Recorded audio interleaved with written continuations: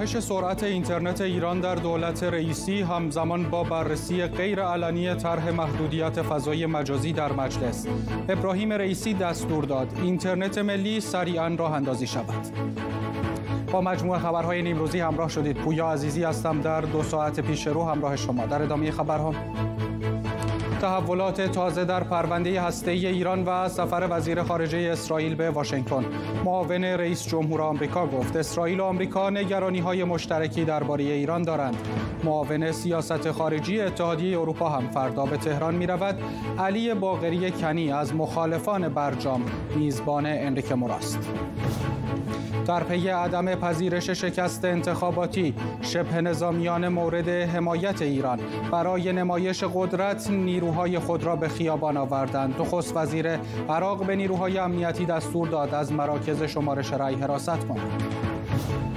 و رکورد شکنی یک سریال کره‌ای در نتفلیکس. بازی مرکب. سریالی خشن درباره فقر و حاشیه نشینی است که محبوبیت زیادی بین مخاطبان پیدا کرد. ابراهیم رئیسی رئیس جمهور ایران در راستای محدودسازی اینترنت و هماهنگ با مجلس به مرکز ملی فضای مجازی و وزارت ارتباطات دستور داد اینترنت ملی را تکمیل کنند.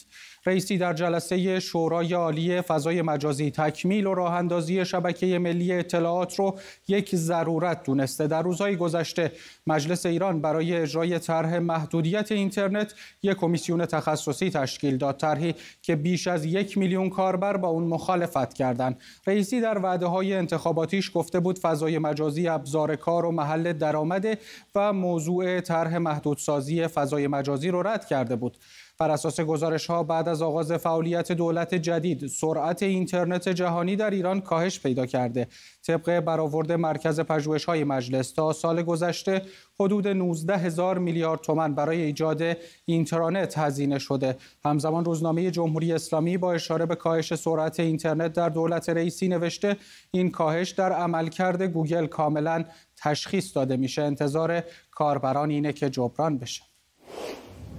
مهدی مهدوی آزاد روزنامه نگار از بن در آلمان. همراه ما است در همین رابطه گفتگو کنیم. آقای مهدوی آزاد ابراهیم رئیسی در وعده های انتخاباتیش گفته بود که اینترنت رو محدود نخواهد کرد و به فضاهایی که کسب و فضاهای کسب و کار مجازی بهشون میگن اشاره کرده بود و گفته بود که محل درآمد هستند و این درآمدها نباید از بین برن. الان با این وضعیتی که پیش اومده مجلس از یک طرف و دولت هماهنگ از یک طرف برای محدود کردن فضای مجازی پیش میرن. تکلیف اون کسب و کارا چی میشه؟ بله میگید آقای ابراهیم رئیسی در بعدهای انتخاباتیش گفته بود. ابراهیم رئیسی رو ول کنید از اون مهمتر چیز مبتذلی در ایران چیز پر از دروغی در ایران به نام وعدههای انتخاباتی رو که اصلا رها کنید. یک لحظه هم بهش فکر نکنید. دیروز آقای مرتضی آقا تهرانی نماینده روحانی شاخص عضو جبهه پایداری گفته بود که اگر به من 100 میلیارد صفحه هم علیه ما را بندازن من کار خودمو می‌کردم. واسه پشیزی اهمیت نداره. این نمایش از اراده حکومت جمهوری اسلامی ایران. ببین در ایران یک سری چیزها هست. اراده رأس هرم قدرت یک مسئله استراتژیک که کسی هم نمی‌تونه عوضش کنه. سه تا مسئله مسئله شخصی آیت الله خامنه است یکی مسئله سپاه قدس و در واقع حمایت از گروه های تروریستی. اون چیزی که اسمشو می‌ذارن صدور انقلاب. مسئله دوم دشمنی با آمریکا و نزدیک شدن به شرق به چین و مسئله سوم اینترنت. اینترنت اساسا یکی از اون دغدغه ها یکی از اون مسائل شخص آقای خامنه ای یه بار گفته بود که اگر من وقت داشتم خودم رئیس شبکه مجازی می شدم اون زمان یادم هست یه دی از ما آقای خامنه ای مسخره کردیم که تو چقدر ذهنت عقب مانده است که فکر می‌کنی که میشه شبکه های مجازی رو رئیس براش گذاشت. ولی بعدا فهمیدیم که نه واقعا در ذهنیت او شبکه های مجازی چیزی دیده میشه که باید براش رئیس گذاشته بشه و باید انقدر محدود بشه. برای من فکر این اراده رأس حرم قدرت هست که گام به گام اینترنت به عنوان تنها شاهراه تنها راه تنها دریچه باز به جامعه جهانی محدود بشه. اگر میشه تحت کنترل در بیاد پاکسازی بشه به قول خودشون وگرنه محدود بشه. و طبیعتا چون هزینهش بسیار سنگینه هزینه اقتصادی و اجتماعی بسیار سنگینی بر که حکومت تحویل می‌کنه. سیاست مدارانی که این کار رو بکنن برای همیشه منفور جامعه خواهند شد و کسی هم جرئت نداره دوست نداره این هزینه رو بپردازه. از آقای خامنه ای گرفته تا مقامات مجلس همه سعی می‌کنن یه جوری نقش خودشون پنهان کنن اما گام به گام دارن این رو پیش می‌برند آقای مهدوی آزاد از مجلس گرفته تا رئیس جمهور تا رهبر جمهوری اسلامی. اونطور که شما هم اشاره کردید این انگیزه و اراده رو دارند که فضای مجازی رو محدود کنند. منشأش کجاست؟ از چه تفکری نشأت می‌گیره؟ منشأش برمیگرده به استبداد. پیچ چیز دیگه جز استبداد نیست. بیادم هست در مورد همین ممنوعیت کالاهای وارداتی کره جنوبی سامسونگ و الژی دستگاه پروپاگاندا ایران با همه وجود اومد وسط خود آقای خامنه ای هم گفت. گفت من برای دفاع از تولید داخلی دارم واردات کره جنوبی رو ممنوع می‌کنم. اگه قرار بود از تولید داخلی دفاع بشه قبل از هر چیز باید این انبوه کالاهای بنجل چینی رو جلوش رو می‌گرفتن. در مورد اینترنت هم همینه. استدلال حکومت این که ما برای مسائل فرهنگی سیانت از فرهنگ خانواده سیاست سیانت از افت سیانت سیانت از افت اجتماعی داریم کار رو می‌کنیم. اگر قرار بود از افت اجتماعی سیانت بشه از خانواده اجتماع سیانت بشه اصلا کشور باید یه مسئله دیگه ای رو طی کرد اولین چیزی که باید جلوشو می‌گرفتن این فقر گسترده بود که باعث میشه قیمت فاحشه در کشورهای فقیر برسه به 10 سن 15 سن 20 سن اتفاقی که در زیمبابوه افتاد. اگر قرار بود از خانواده سیانت بشه اصلا حکومت باید مسئله دیگه یا می‌رفت. منشأ تمامی طرحهایی که من منجر به محدود شدن اینترنت صرفا برمیگرده به مسائل سیاسی و صرفا برمیگرده به حوزه استبداد. اینکه حکومت پروپاگانداش رو کسی نتونه به چالش بکشه. دیس اینفورمیشن اخبار دروغی که هر روز به جامعه ترویج میده. از اینکه ایران خیلی داره قوی میشه هر روز قوی تر شده. تا اینکه نمی‌دونم کرونا واکسن کرونا چی چی و ویروس کرونا رو آمریکایی‌ها ساختن. کسی نتونه اینها رو توضیح بده برای جامعه دروغه. و فعالان سیاسی نتونن خارج از اراده حکومت با مردم رابطه بگیرند. آقای مدوی آزادی انگیزه و اراده به محدود کردن اینترنت اگر تحقق پیدا کنه چه تبعاتی به بار میاره و اصلا آیا ممکنه که تحقق پیدا کنه به شکل کامل؟ من از مدت ها پیش گفتم اراده حکومت این هستش که به ایران رو ببره به سمت کره شمالی. یه بار علم الهدا هم گفته کره شمالی خیلی الگوی خوبیه. اما بلافاصله همین من تاکید کردم خیلی سخته شاید نشدنی باشه ایران رو بکنن کره شمالی. هم به دلایل ژئواستراتژیک به خاطر که کره شمالی یک کشور هستش که این ورش چینه این ورش کره جنوبی. نمی‌دونم کوبا رو بعضیا مثال می‌زنن. کوبا یه جزیره است که شما باید چند صد کیلومتر راه برید تا برسید مثلا به هایتی. ایران کشوری است که دور تا دورش 13 به روایت 15 تا با حساب کردن روسیه 15 تا همسایه داره. این مسئله اول 10 درصد جامعه ایران در سالهای اخیر از ایران فرار کردن به روایتی مهاجرت کردن. جامعه ایران یک جامعه جوان حدود 15 میلیون تحصیل کرده دانشگاهی داریم. زمینی که دنیای امروز هم دنیای بسیار پیچیده هست. در مجموع خیلی خیلی سخته که ایران رو بتونن تبدیل کنن به اون شرایط. اون تا همه سعیشون رو می‌کنن. من فکر می‌کنم نه ممکن نیست. همچنان که نتونستن جلوی اینترنت رو بگیرن همچنان که جلوی ویدیو رو نتونستن بگیرن جلوی ماهواره نتونستن بگیرن جلوی اینترنت رو هم نمی‌تونن منتها این کاراشو می‌دونید آسیب عظیمی به اقتصاد ایران روند توسعه ایران و به جامعه ایران می‌زنه و اون رو نمیشه جبران کرد. سپاسگزارم از شما مهدی مهدوی آزاد روزنامه نگار از بون در آلمان با ما بودید. در ادامه چند خبر کوتاه از ایران.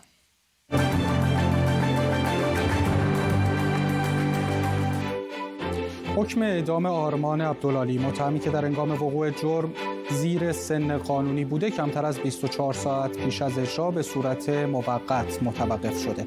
کارشناس های حقوق بشر سازمان ملل خواستار توقف فوری اعدام این متهم به قتل شدند که هنگام وقوع جرم انتصابی 17 ساله بوده. عبدلالی برای اجرای حکم اعدام به سلول انفرادی زندان کرج منتقل شده و قرار بود حکمش روز چهارشنبه امروز اجرا بشه.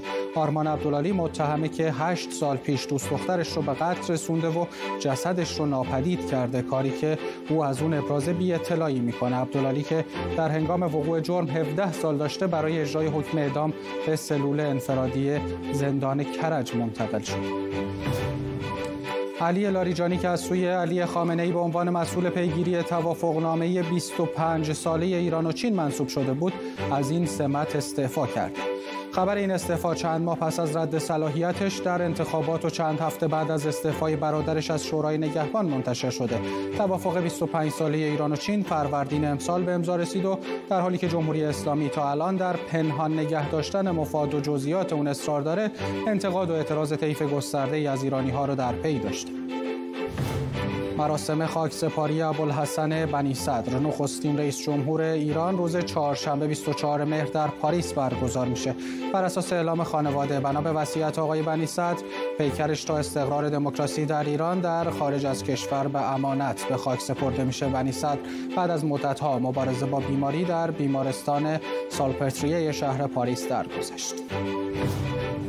مسابقه فوتبال ایران و کره جنوبی. در ورزشگاه آزادی به بهانه نگرانی از شیوع کرونا بدون تماشاگر برگزار شد. این در حالیه که رستوران ها و مراکز تفریحی به نمایش این مسابقه در نقاط مختلف شهر پرداختن و جمعیت زیادی هم در این مراکز حضور داشتند به گفته منتقدا مقام های ورزشی جمهوری اسلامی برای اینکه اجازه حضور زنان در این مسابقات را ندن و فیفا هم نتونه بهانه‌ای برای جریمه ایران داشته باشه بازی رو بدون تماشاچی برگزار کردن. فائزه هاشمی فعال سیاسی هم در گفتگو با انصاف نیوز در واکنش به این اقدام گفته امیدواره که فیفا گول نخوره و قضیه رو دنبال کنه. این یک کلک.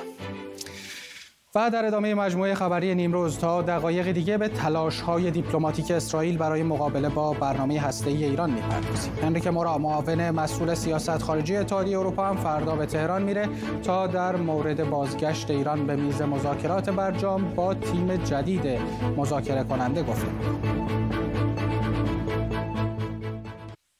مجموعه خبر نیمروز رو می‌بینید مروری بر عناوین خبرها. کاهش سرعت اینترنت ایران در دولت رئیسی همزمان با بررسی غیرعلنی طرح محدودیت فضای مجازی در مجلس. ابراهیم رئیسی دستور داد. اینترنت ملی سریعا راه اندازی شود. تحولات تازه در پرونده هسته ایران و سفر وزیر خارجه اسرائیل به واشنگتن. معاون رئیس جمهور آمریکا گفت اسرائیل و آمریکا نگرانی های مشترکی درباره ایران دارند. معاون سیاست خارجی اتحادیه اروپا هم فردا به تهران می رود علی باغری کنی از مخالفان برجام. میزبان انریک موراست در پی عدم پذیرش شکست انتخاباتی شبه نظامیان مورد حمایت ایران برای نمایش قدرت نیروهایشان را به خیابان آوردند. نخست وزیر عراق به نیروهای امنیتی دستور داد از مراکز شمارش رأی حراست کنند. و رکورد شکنی یک سریال کره‌ای در نتفلیکس. بازی مرکب. سریالی خشن درباره فقر و حاشیه نشینی که محبوبیت زیادی بین مخاطبان پیدا کرد. در حالی که هنوز زمانی برای آغاز گفتگوهای احیای برجام اعلام نشده تلاش‌های دیپلماتیک اسرائیل برای مقابله با تهدید منطقه‌ای و برنامه هسته‌ای جمهوری اسلامی تشدید شده در تازه ترین این تلاش ها وزیر خارجه اسرائیل در سفر به واشنگتن و در دیدار با دولت مردان آمریکایی به رایزنی درباره ایران پرداخته. دفتر وزیر خارجه اسرائیل در بیانیه اعلام کرده که او در دیدار با مشاور امنیت ملی آمریکا نگرانی اسرائیل درباره پیشروی ایران به سمت ظرفیت‌های هسته‌ای را مطرح کرده و بر نیاز به برنامه جایگزین برای برجام تاکید کرده. بر اساس گزارش کاخ سفید جیک سالیوان هم در این دیدار درباره تهدید ایران و همینطور از آمریکا برای جلوگیری از دستیابی جمهوری اسلامی به سلاح هسته‌ای تاکید کرد. لاپید در دیدار با کامالا هریس معاون رئیس جمهور آمریکا گفته که نگرانی از برنامه هسته‌ای و فعالیت‌های منطقه‌ای جمهوری اسلامی در مرکز گفتگوهاش با مقام‌های آمریکایی قرار داره. لاپید در دیدار با نانسی پولوسی رئیس مجلس نمایندگان آمریکا هم درباره خطر فعالیت‌های هسته‌ای ایران هشدار داده. همه نیاز داریم و می توانیم درباره تلاش برای گسترش دایره صلح در جهان اتحاد داشته باشیم. و همچنین نیاز داریم درباره این مسئله اساسی که اسرائیل حق دفاع از خود را دارد اتحاد داشته باشیم. و همه باید درباره این که نباید به ایران اجازه دهیم در آستانه دستیابی به سلاح هسته‌ای قرار گیرد هم نظر متحد باشیم.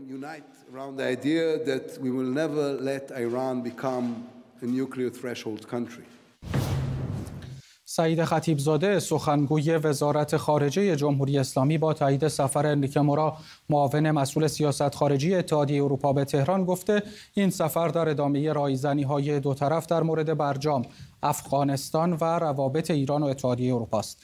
یک دیپلمات اروپایی هم درباره جزئیات این سفر به خبرنگار ایران اینترنشنال گفته در این سفر دیدار و صحبت‌هایی با مقام‌ها و تیم جدید مذاکره کننده هسته جمهوری اسلامی صورت می‌گیره. بلومبرگ به نقل از مقام‌های مطلع گزارش داده انتظار میره انریک مراد در تهران درباره از سرگیری گفتگوهای هسته ایران با قدرت‌های جهانی به توافق برسه. در همین رابطه علی باقری کنی معاون سیاسی وزارت خارجه جمهوری اسلامی در یک پیام توییتری خبر داد که فردا میزبان انریکه مورا خواهد بود و مسائل مختلفی از جمله مذاکره برای برداشتن تحریم های ظالمانه در دستور کار مذاکراتش با این مقام اروپایی قرار دارد. حسین علیزاده تحلیلگر مسائل بین الملل از لندن با ما همراه میشه تا گفتگویی داشته باشیم در همین رابطه های علیزاده زمان از سرگیری مذاکرات هنوز مشخص نیست. ولی الان انریک مورا داره میره ایران معاون سیاست خارجی اتحادیه اروپا فردا می‌رسه و قراره که با باقری کنی دیدار کنه. چهره ای که مخالف برجام بوده تا الان و موازهش اینطور نشون میده. این چه پیامی رو خواهد داشت برای جامعه جهانی؟ از یک سو دولت رئیسی میگه که می‌خوایم مذاکره ها رو ادامه بدیم از یک سو چهره مخالف برجام رو برای این گفتگوها انتخاب می‌کنه. نظر شما رو بشنویم عنایت داشته باشید که آقای مورا پیش از این هم سفری به تهران داشتن. یعنی زمانی که نتیجه انتخابات اعلان شده بود آقای رئیسی رو برگزیده بودند. و در اون زمان ایشون به تهران رفته بود برای اینکه در همون مراسم تحلیف و اینها شرکت بکنه. در همون زمان بودش که با آقای امیر عبداللهیان ملاقات کرد و اونجا گمان زنی ها پیش آمد که آقای امیر عبداللهیان احتمالا گزینه آقای رئیسی است برای پست وزارت امور خارجه که چنین هم شد. الان ایشون سفر دوباره به تهران کرده تقریبا چهار ماه پس از اون دوران و در حالی که اساسا معلوم نیستش که ایران چه زمانی رو برای بازگشتن به میز مذاکرات در نظر داره. آنچه که شنیدیم این است که تهران می‌گوید که ما به زودی باز خواهیم گشت. الان چیزی از تشکیل دولت سه, سال سه ماه گذشته هیچ اقدام مؤثری صورت نگرفته. قطعا دستور کار او در این سفر به تهران این استش که تعیین زمانی مورد نظر چیست و اگر که پاسخ روشنی دریافت نکنه طبیعتا کشورهای ترویکا با ایالات متحده هم فکر خواهند شد که چه اقدامی خواهند بکنن اینکه او با آقای علی باقری دیدار می‌کنه لزوما به این معنا نیست که قطعا آقای علی باقری مذاکره کننده ارشد هسته باشد به جانشینی آقای عراقچی.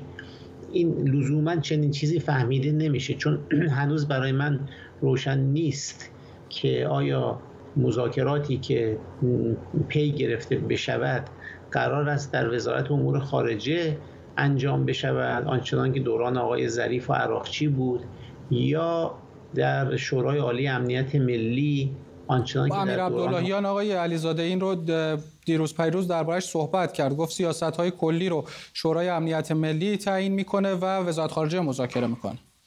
بله اما برای قطعیت این که حتما تیم مذاکره کننده خود اونها باشن این به سراحت تاکید نشده. یعنی ما قطعیت نداریم که حتما وزارت امور خارجه است. ببینید بایستی مشخص بشه که اگر در همین دیدار شاید آقای علی باقری موضوع رو احاله بدهد که مثلا تیم مذاکره کننده ما تغییر پیدا بکنه. من التفات دارم به نکته که شما گفتید اما با وجود این خود همین مسئله که مذاکره کننده کیست خودش یک مسئله زمان زمان ساز هستش.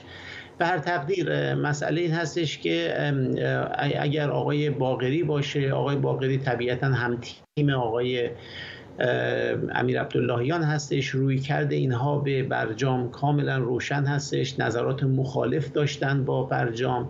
برجام رو قانع کننده نمی‌دانستند مذاکرات احیای برجام هم که شش دور انجام شد در وین رو ناقص می‌دانستند در دولت آقای روحانی گفتن ما میشینیم اینو بررسی می‌کنیم و آخر سر به این نتیجه رسیدن که خیر این تأمین کننده اهداف تهران نیست. خب آقای علیزاده حالا اگر همین موضع موضع رو که شما بهش اشاره می‌کنید امیر عبداللهیان و باقری رو بگذاریم کنار تلاش های دیپلماتیک اسرائیل که داره انجام میده. بارها مقام هاش با آمریکا سفر کردن با همه مقام های آمریکایی هم دیدار کردن. این موضع ها رو اگر ببریم بذاریم روی گفتگوهای آینده در وین. آیا میشه تصور کرد که نتیجه مثبتی ازش بیرون بیاد با این وضعیت؟ قطعا شرایط بسیار بسیار سخت هستش. اولا تیم مذاکره کننده کلا عوض شده. دوم اینکه به نظر من تیم ضعیفی هستن.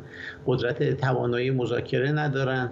سوم اینکه فشارهای اقتصادی داخل کشور به گونه ای هستش که موجب, موجب میشه که حضرات این چنین که قبلا نشسته بودند و صرفا می‌گفتن که برجامی که تصویب شده یا احیای برجام ناقص هستش. نه دیگه نمی‌تونن با این ادعا پیش برن. اگر هم بخواهند وارد بحث مذاکره با آمریکا بشن وارد بحث احیای برجام بشن تمام اون ایرادهایی که به دولت روحانی وارد می‌شد که شما جا زدید شما وا دادید شما عقب نشینی کردید شما چه جوری به امریکا می‌تونید اعتماد داشته باشید؟ امریکایی که از برجام رفته بیرون از کجا معلوم دوباره از برجام نره بیرون؟ تمام این اعتراضات رو به دولت روحانی داشتن.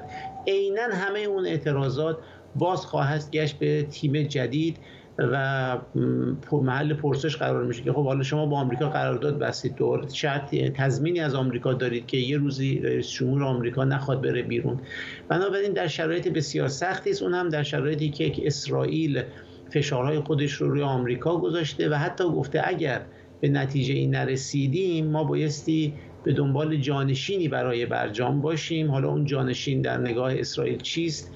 روشن نیست. ولی به هر حال شرایط بسیار خطیری و سختی در پیش رو هست. بله سپاسگزارم از شما حسین علیزاده تحلیلگر مسائل بین الملل از لندن با ما بودید.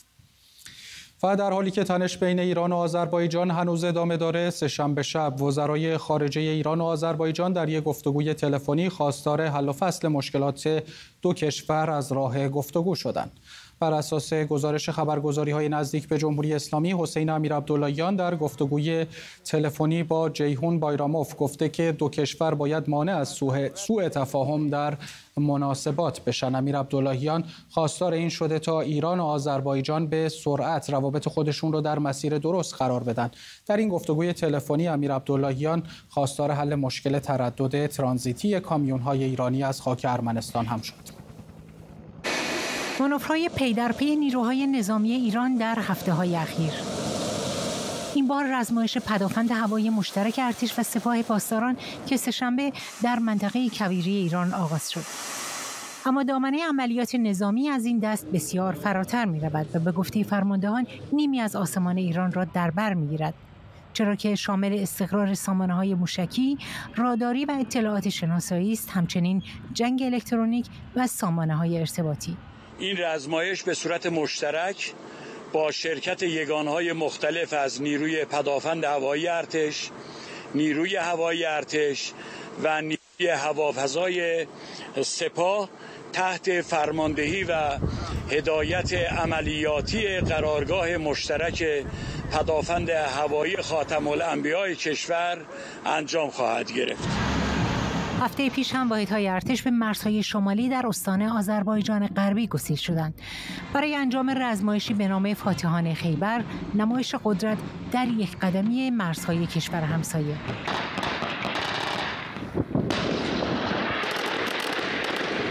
جمهوری آذربایجان که بدون تلف کردن وقت در پاسخ اتحاد نظامی با ترکیه را به رخ ایران کشید.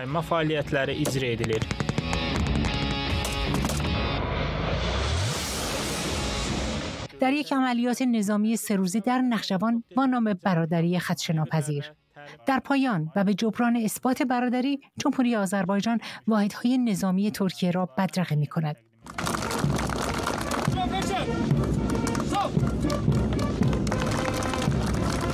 رئیس جمهور آذربایجان تنها به نمایش قدرت اکتفا نکرد و همان وقت اقدام ایران را زیر سوال برد. او امروز هم در شستمین سالگرد تأسیس اجلاس غیرمتحدها به میزبانی مشترک سربستان و جمهوری آذربایجان در بلگراد در این پیام ویدیویی فرصت را برای تکرار حرفش از دست نداد. اصول تاریخی و اساسی این مجموعه مانند احترام به حاکمیت، تمامیت ارزی، خودداری از اقدامات تجاوزکارانه و عدم مداخله در امور داخلی هسته جنبش عدم تعهد است و در روابط بین المللی ضروری اگر این اصول توسط همه دولت ها رعایت شود شاهد جنگ ها و درگیری ها نخواهیم بود. ایران این مانورها را تهدیدی برای خود و نشانی از حضور اسرائیل در یک قدمی مرزهایش می‌داند. تحت هیچ شرایطی ما تغییر ژئوپلیتیک و نقشه منطقه رو در حوزه قفقاز نخواهیم پذیرفت و نگرانی جدی کماکان از حضور تروریست ها و حضور صهیونیست ها در این منطقه داریم. با وجود نگرانی جامعه بین المللی در مورد فعالیت های منطقی، موشکی و هسته ایران در این نشست سهشنبه اسرائیل خواستار اقدام شورای امنیت در مورد فعالیت های هسته ایران شد. در مورد ایران با بعضی از رهبران جهان از جمله رئیس جمهور آمریکا، صدر اعظم آلمان، نخست وزیر بریتانیا و دیگران گفتگو کردم. ایران آشکارا تعهداتش به آژانس انرژی اتمی را نقض می کند. انتظار دارم که قدرت‌های جهانی و شورای امنیت ایران را در قبال آن مسئول بدانند. این مسیری صلح‌آمیز است. البته مسیرهای دیگری هم وجود دارد.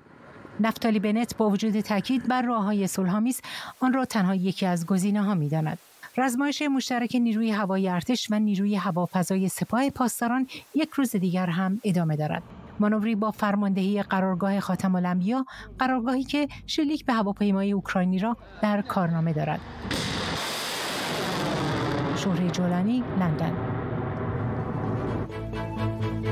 در ادامه مجموعه خبری نیمروز تا دقایقی دیگه گزارشی داریم از سریال اسکواد گیم که در شبکه نتفلیکس پخش میشه.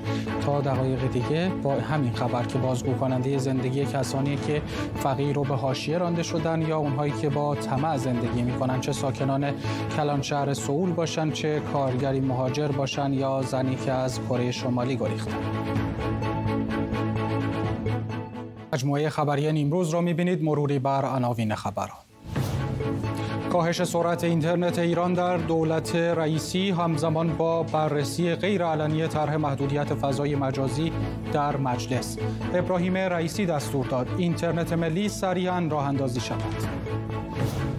تحولات تازه در پرونده هسته ایران و سفر وزیر خارجه اسرائیل به واشنگتن. معاون رئیس جمهور آمریکا گفت اسرائیل و آمریکا نگرانی های مشترکی درباره ایران دارند. معاون سیاست خارجه اتحادیه اروپا هم فردا به تهران می رود علی باغری کنی از مخالفان برجام میزبان اندیک مراست. در پی عدم پذیرش شکست انتخاباتی شبه نظامیان مورد حمایت ایران برای نمایش قدرت نیروهایشان را به خیابان آوردند.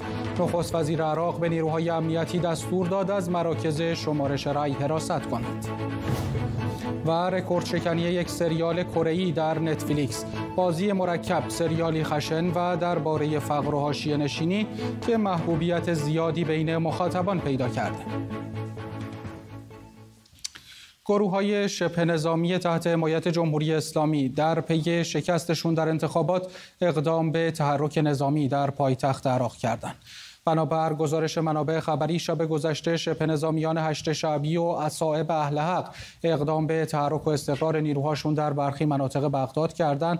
همزمان در پی این تهدیدها سازمان ضد تروریسم عراق در منطقه صالحیه اطراف ساختمان رادیو و تلویزیون رسمی این کشور و منطقه سبز اقدام به استقرار نیرو کرده. از سوی دیگه مصطفی الکاظمی نخست وزیر عراق از فرماندهان امنیتی کشورش خواسته به مأموریتشون در حفاظت از صندوق های رأی و مخازن کمیساریای عالی انتخابات ادامه بدن این تحرکات در حالیه که شب گذشته هیئت هماهنگی مقاومت عراقی که تحت حمایت سپاه پاسداران یک بار دیگه با رد نتایج انتخابات تهدید به دفاع از فرایند سیاسی عراق کرد.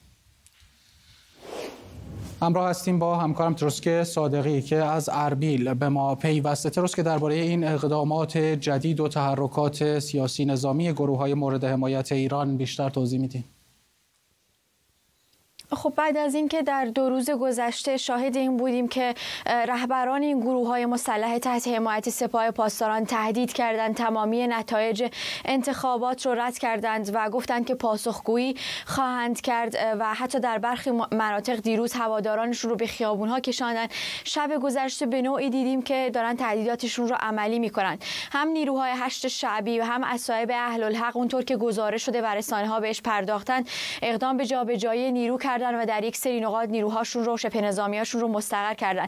در مقابل این تحرکات از اینکه حالا نگران نگران هستش دولت عراق از اینکه تنش ها بیشتر بشه سازمان ضد تروریسم عراق اقدام به استقرار نیروهای خودش رو در برخی نقاط مهم از جمله صالحیه همونطور که شما هم اشاره کردید دوروبر ساختمان و ساختمان تلویزیون و رادیوی رسمی دولت عراق و منطقه سبز بغداد که حالا ساختمان های دیپلماتیک اونجا هستن مستقر کردن نیروهاشون رو و سطح امنیتی در کل در پایتخت بالا رفته. البته باز هم این جریان ها همچنان داریم می‌بینیم در چارچوب هیئت هماهنگ کننده محور مقاومت که تحت حمایت جمهوری اسلامی هستند یک بیانیه تندتری صادر کردن شب گذشته و گفتن که از فرایند سیاسی عراق دفاع می‌کنن و نتیجه این انتخابات رو به هیچ وجه قبول نخواهند کرد. شب گذشته روز گذشته خود نخست وزیر در مقر فرماندهی عملیات مشترک حضور پیدا کرد. از اونها خواستش که از فرماندهان امنیتی از صندوق های رای حفاظت بکنن از مخازن های مستقل انتخابات حفاظت بشه. اما فقط تنش ها بعد از اعلام نتایج مربوط به پایتخت نبود. در برخی نقاط دیگر هم دیدیم که تنش ها بسیار زیاد بوده. در کرکوک هم شب گذشته تیپ 61 که ارتش عراق حمله کرده بود به محله های کردها ده ها شهروند کرد دستگیر شدند و این موجب شد که نگرانی زیادی به وجود بیاد. بعد از اینکه اقدام به شلیک گلوله کردن و مقامات سیاسی و دولت اقلیم کردستان رسما از نخست وزیر در تماسایی که با وی داشتن خواستار پاسخگویی در مورد این اقدامات ارتش شدن در کرکوک. خب ترس که آخرین تغییرات در نتایج اعلام نتایج آرا چه از واکنش ها چه بوده بهش؟ خب صبح امروز یک بار دیگه کمیسیون نتایج انتخاباتی 8547 حوزه انتخاباتی رو اعلام کرد که اینا رو همونطور که خودشون گفته بودن اینا رو هنوز اعلام نکرده بودن. تغییراتی در کرسی ها به وجود اومد. مثلا صدر یک کرسی از دست داد اما ائتلاف فتح و دولت قانون به رهبری مالکی و مثلا جریان هایی در اقلیم کردستان کرسی هاشون بیشتر شد. با این حال اما این گروه ها همچنان دارن تهدید می‌کنن. جریان های وابسته به جمهوری اسلامی ایران تهدید می‌کنن نتایج انتخابات رو. و نگرانی در حال حاضر از سوی مردم هست که این گروه ها از طریق قانونی پیگیری بکنن نه تهدید. ممنونم از صوت روزکه صادقی همکارم در اربیل جابر رجبی تحلیلگر سیاسی از تهران با ما همراه میشه که در همین رابطه گفتگویی داشته باشیم. آقای رجبی این گروه های مورد حمایت جمهوری اسلامی هشت شعبی از صاحب اهل حق و غیره نیرو به خیابان آوردند در عراق دیشب و نمایش خیابانی داشتند. ترسشون از چه هست با اوضاعی که نتایج انتخابات نشون میدن؟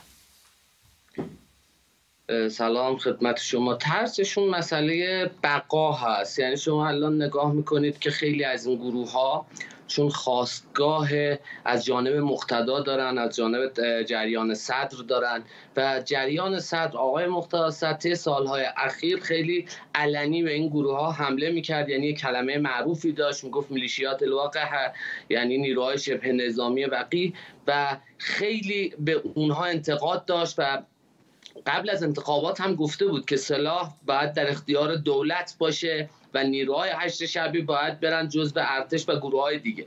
یعنی این مسئله الان پیش میاد که اینها نگران اینن. با قدرت گرفتن جریان صدر و گروه های متحد جریان صدر بتونن قدرت خودشون رو از بین ببرن. چون در پارلمان قبلی عراق هشت شعبی توسط نمایندگان مجلس که خیلی هاشون وابسته به همین اطلاف فتح بودن به عنوان یک نیروی نظامی عراق اعلام شد. اینها نگرانن که این قانون لغو بشه و هشت شعبی از بین بره.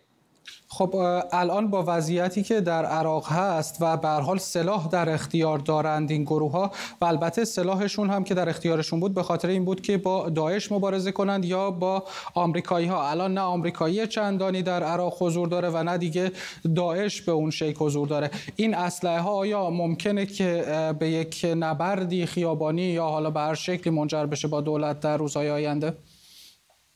من تصدیق کنم برای شما سلاح از زمان داعش در اختیار اینها نیست.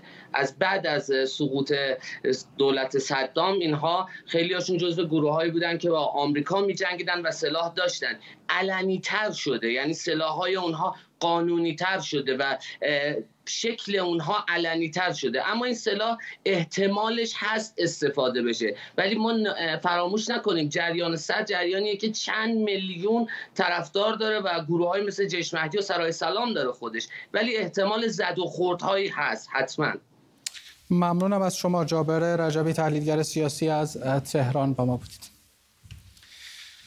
و ما یک سریال کره‌ای در شبکه نتفلیکس. این روزها بسیار معروف و خبرساز شده. سریال بازی مرکب که رکورد میزان مخاطب رو در گوشه و کنار جهان شکسته. یک بار دیگه نام کره جنوبی و تولیدات فرهنگیش رو سر زبون ها انداخته. سریالی که احتمالا شما همون رو دیده باشید و خشونت زیادی هم داره.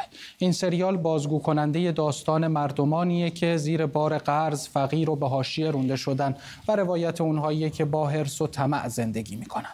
توماجه تاهباز در گزارشش نگاهی داره به این سریال مردمانی در مرز ویرانی که از سر فقر و فلاکت حرس یا طمع حاضرن برای پول در جزیره خالی از سکنه به سلاخی شدن خودشان و سلاخی کردن دیگران تن بدهند.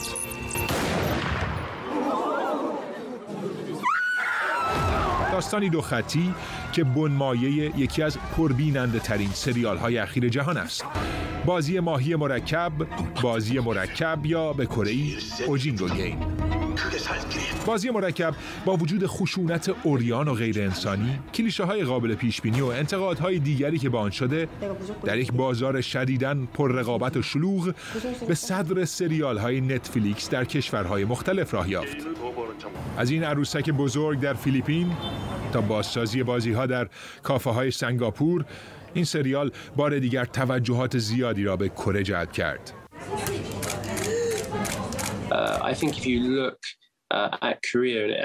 مجموعه عظیمی از افراد مستعد، طراح، هنرمند، جلوه های بصری و فیلمساز در کره وجود داره. وقتی به فیلم ها و سریال های کره نگاه کنید می‌بینید همه این آدم ها خیلی خوب کنار هم قرار گرفتن. بازی مرکب نمادی از این واقعیت در کره است. این روزا بازی مرکب خیلی معروف شده اما به جرأت میشه گفت که کره جنوبی به مهمترین یا شاید مشهورترین صادر کننده محصولات فرهنگی تو آسیا تبدیل شده. اون چیزی که بهش موج کره میگن.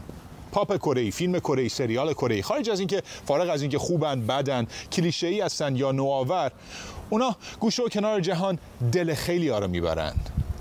اما بجز همه اینها مثل فناوری های پیشرفته کره جنوبی. محصولات فرهنگی این کشور هم به یکی از مهمترین منابع درآمد خارجی تبدیل شدن. هرچند لزوما و همیشه شباهتی هم به زندگی واقعی مردم اینجا ندارن. سریال بازی ماهی مرکب یا بازی مرکب برخلاف خیلی از درام ها و ملودرام های کره متعلق به جریانی است که هم جذاب است هم نیم نگاهی انتقادی به جامعه دارد. جامعه‌ای که در آن نابرابری ها عمیقتر می شود یا رقابت برای رفاه و پول به یک قصابی بزرگ انسانی تبدیل می شود اما یا این موفقیت می تواند به شکلی متناقض ضد خودش عمل کند؟ سطح توجهات و توقعات بالا رفته و حالا پول زیادی وارد بخش سرگرمی کره میشه. در نتیجه این خطر وجود داره که مثل یه حباب بشه و بترکه. موج کره بالاخره آرام خواهد گرفت یا نه؟ از گروه های کیپاپ تا فیلم ها و سریال ها فعلا کره ها در مسیر به هیجان آوردن و شگفت زده کردن مردم هستند. توماج باز سئول.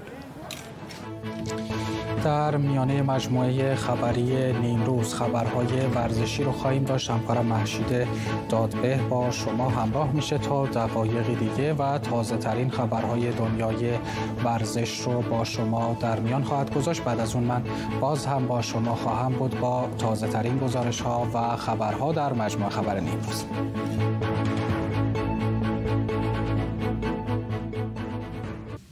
مجموعه خبری نیمروز رو می‌بینید. مروری بر عناوین خبرها. کاهش سرعت اینترنت ایران در دولت رئیسی همزمان با بررسی غیرعلنی طرح محدودیت فضای مجازی در مجلس. ابراهیم رئیسی دستور داد اینترنت ملی سریعا راه اندازی شود. تحولات تازه در پرونده هسته ایران و سفر وزیر خارجه اسرائیل به واشنگتن. معاون رئیس جمهور ایالات متحده گفت اسرائیل و آمریکا نگرانی های مشترکی درباره ایران دارند. معاون سیاست خارجی اتحادیه اروپا هم فردا به تهران می رود علی باغری کنی از مخالفان برجام میزبان انریک موراست گزارش تازه از شلیک به زنان در اصفهان به گزارش روزنامه شرق فردی که اواخر مرداد ماه با اسلحه بادی به زنان شلیک می کرد با وسیقه آزاد شد. و رکورد شکنی یک سریال کره‌ای در نتفلیکس. بازی مرکب سریالی خشن و درباره فقر و حاشیه نشینی است که محبوبیت زیادی بین مخاطبان پیدا کرد. ابراهیم رئیسی رئیس جمهور ایران در راستای محدودسازی اینترنت و هماهنگ با مجلس به مرکز ملی فضای مجازی و وزارت ارتباطات دستور داده اینترنت ملی رو تکمیل کنند.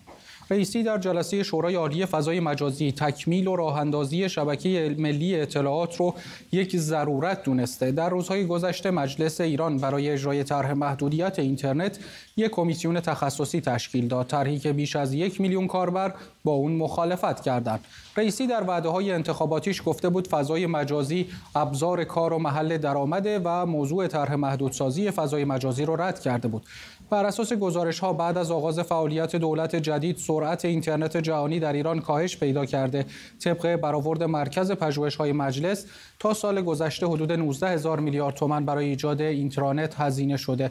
همزمان روزنامه جمهوری اسلامی با اشاره به کاهش سرعت اینترنت در دولت رئیسی نوشته این کاهش در عملکرد گوگل کاملا تشخیص داده میشه. انتظار کاربرا هم اینه که جبران بشه. محمود تجلی کارشناس برق و مخابرات از کلن همراه ما هستن. آقای تجلی مهر در گزارشی که روزنامه جمهوری اسلامی منتشر کرده اشاره شده به اینکه سرعت اینترنت در دورانی که ابراهیم رئیسی رئیس جمهور ایران شده کاهش پیدا کرده. این کاهش سرعت رو چطور میشه مشاهدهش کرد چطور میشه بررسیش کرد و از کجا میشه به این مسئله پی برد؟ این گزارش حالا به حال در روزنامه هست ولی منطق علمیش رو از کجا میشه پیدا کرد؟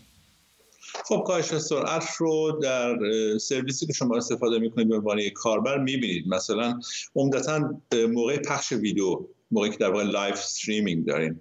اونجا میشه این رو دید چون این سرویس هایی در واقع ویدئویی پهنای باند زیادی می‌خوان و اینکه تصویر بایسته یا اصلا پخش نشه یا وبسایتی که خیلی بار سنگین روش باشه و اون نیاد timeout بده در واقع browser شما اونجا متوجه میشین که سرعت شما خیلی پایین اومده. در رابطه با مسنجر اینها این کاهش سرعت زیاد محسوس نیست. بلکه در رابطه با سرویس هایی که ویدئویی پخش میشن اونجا کاملا آشکار و روشنه. این کار رو هم خب به حال درگاه هایی که ایران به اینترنت داره اینها تعدادشون محدود همش هم تحت اختیار حکومت هست و اونجا می‌تونن پهنای رو کاهش بدن به شکلی که می‌خوان. خب آقای تجلی ما وقتی که به وبسایت های مانیتور کننده اینترنت دنیا نگاه می‌کنیم می‌بینیم که اتفاقی در سرعت اینترنت ایران در ماهای گذشته نیفتاده و گزارش های مشابهی رو نسبت به ماهای قبل نشون میدن چطوره که در ایران این مشاهده میشه اما روی درگاهی که مانیتور می‌کنن مشاهده نمیشه؟ خب این کلا هم سیستم مونیتورینگ و هم این حسی که سرعت اینترنت پایین اومده در واقع یک کمی واقعا نسبیه و یک کمی هم میشه گفت ذهنی هم هست. یعنی باید اینو با دقت بیشتر نگاه کرد که شاخص هایی که سیستم های مونیتورینگ جهانی به کار می‌گیرن چه پارامترهایی در نظر می‌گیرن شاخص هاشون چه جوری هست و در داخل ایران چه جوری حساب میشه. اینها باید با هم بخونن و ظاهرا این مقیاسه با هم نمی‌خونن که این تفاوت دیدگاه وجود داره.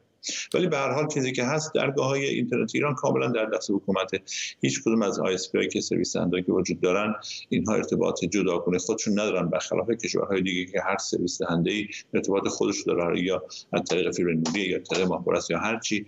در ایران این, این گونه نیست. همش در اختیار حکومت و اونها این مکانیزم در دسترسشون هست. سپاسگزارم از شما محمود تجلیمر کارشناس برق و مخابرات از کل نگاهی کنیم به چند خبر کوتاه از ایران.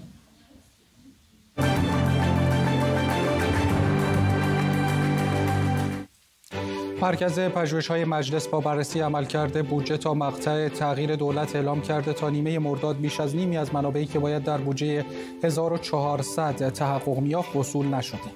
این مرکز برآورد کرده کسری غیر قابل تأمین بودجه تا پایان سال از 300 هزار میلیارد تومان فراتر بره که برای رفع اون یا باید مخارج دولت کاهش پیدا کنه یا منابع مالی جدیدی ایجاد بشه و در همین رابطه هم نوشته اگر این اتفاق نیفته احتمالا این منابع از محل پایه پولی تأمین پایه پولی تأمین شده ایجاد تورم می‌کنن در همین رابطه جعفر قادری عضو کمیسیون برنامه و بودجه مجلس هم گفته اوضاع درآمدی دولت اصلا مناسب نیست و بودجه در وضعیتی نیست که بشه به مجموعه مطالبات اخشار مختلف برای افزایش حقوق پاسخ داد. بر اساس گزارش مرکز آمار ایران سال گذشته بیش از 48 درصد خانوارهایی که لوازم برقی خریداری کردند لوازم برقی خارجی رو انتخاب کردن. نتایج طرح آمارگیری از فرهنگ رفتاری خانوارها در سال 99 نشون میده.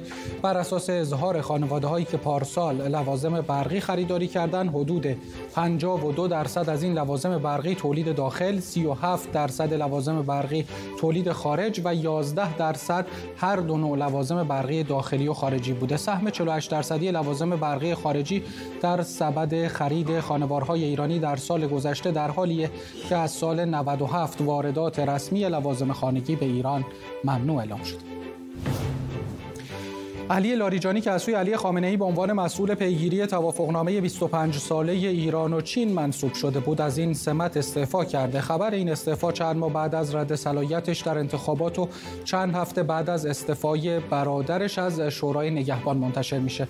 توافق 25 ساله ایران و چین فروردین امسال به امضا رسید و در حالی که جمهوری اسلامی تا الان در پنهان نگه داشتن مفاد و جزئیاتش اصرار داشته انتقاد و اعتراض طیف‌های گسترده از ایرانی ها را در پی داشتیم مالک حسینی مدیرعامل سازمان رفاه خدمات و مشارکت اجتماعی شهرداری تهران. گفته با موج جدیدی از کودکان کار مهاجر مواجه میشیم. گفته کودکان بخشی از خانواده های مهاجر افغانستانی هستند که به دلایل شرایط موجود به عنوان کودک کار وارد خیابون میشن. به گفته این مقام شهرداری تهران گزارش های رسیده حاکی از اونه که جمعی از پناهجویان افغانستانی که وارد ایران شدن بدون سرپناه موندن. حسینی تاکید کرده برای نگهداری کودکان نمی‌تونن کاری انجام بدن و بر عهده بهزیستی اما در زمینه های مددکاری با جدیت پیگیرن و به دلیل جمعیت روبرشت مهاجران کارشون در این زمینه زیاد شده.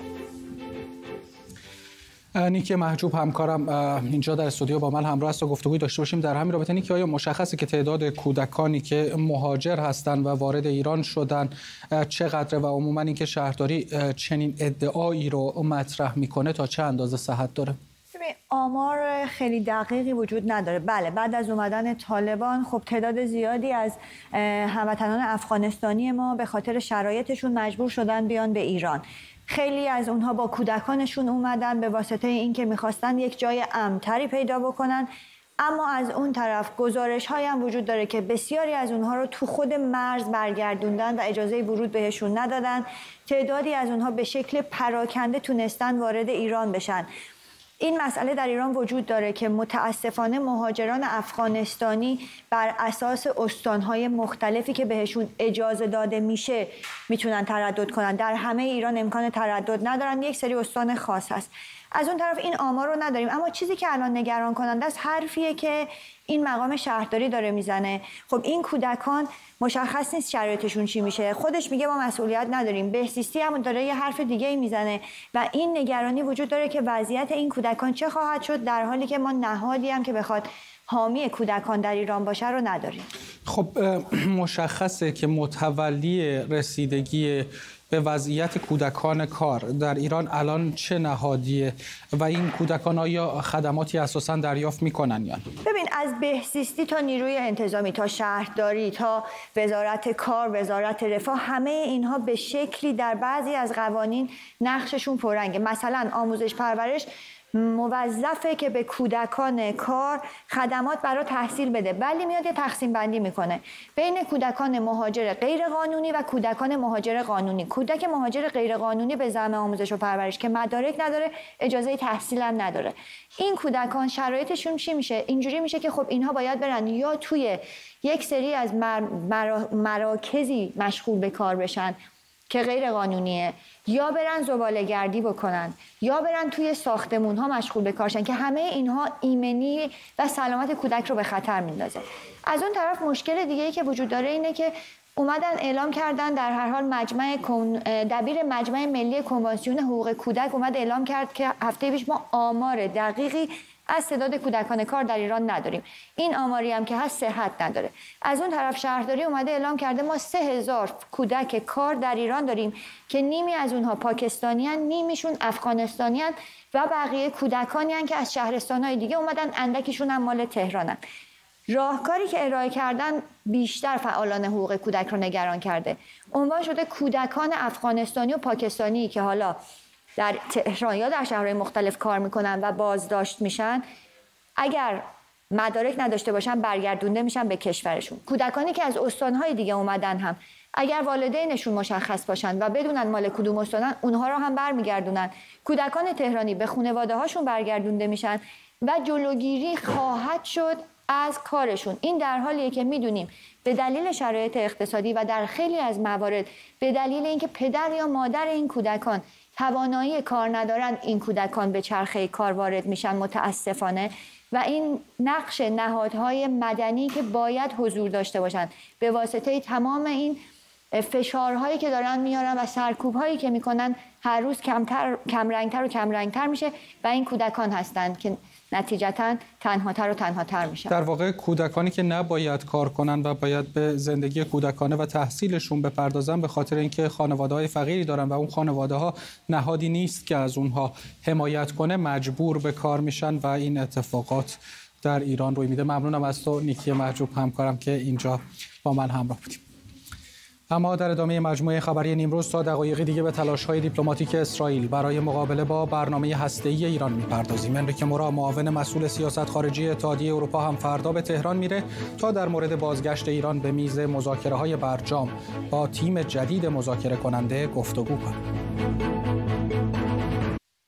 مجموعه خبری نیمروز را می‌بینید مروری بر عناوین خبرها.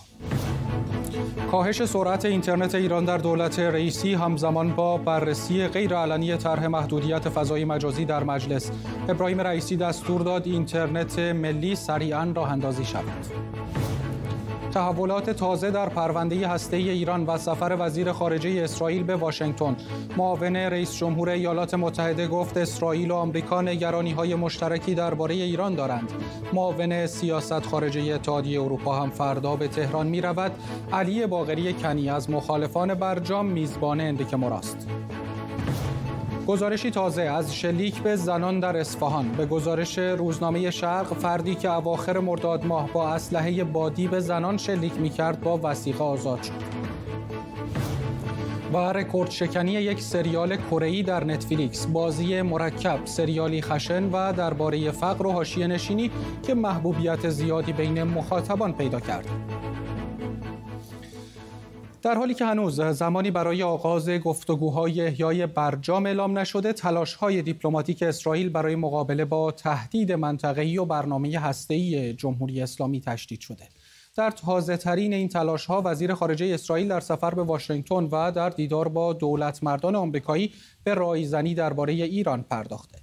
دفتر وزیر خارجه اسرائیل در بیانیه اعلام کرده که او در دیدار با مشاور امنیت ملی آمریکا نگرانی اسرائیل درباره پیشروی ایران به سمت ظرفیت‌های هسته‌ای رو مطرح کرده و بر نیاز به برنامه جایگزین برای برجام تاکید کرده. بر اساس گزارش کاخ سفید جیک سالیوان هم در این دیدار درباره تهدید ایران و همینطور عزم آمریکا برای جلوگیری از دستیابی جمهوری اسلامی به سلاح هسته‌ای تاکید کرد. لاپید در دیدار با کامالا هریس معاون رئیس جمهور آمریکا گفت که نگرانی از برنامه هسته‌ای و فعالیت‌های منطقه جمهوری اسلامی در مرکز گفتگوهاش با مقامات آمریکایی قرار داره لاپید در دیدار با نانسی پولوسی رئیس مجلس نمایندگان آمریکا هم درباره خطر فعالیت‌های هسته‌ای ایران صحبت کرد. همه نیاز داریم و می توانیم درباره تلاش برای گسترش دایره صلح در جهان اتحاد داشته باشیم و همچنین نیاز داریم درباره این مسئله اساسی که اسرائیل حق دفاع از خود را دارد اتحاد داشته باشیم و همه باید درباره این که نباید به ایران اجازه دهیم در آستانه دستیابی به سلاح هسته‌ای قرار گیرد هم نظر متحد باشیم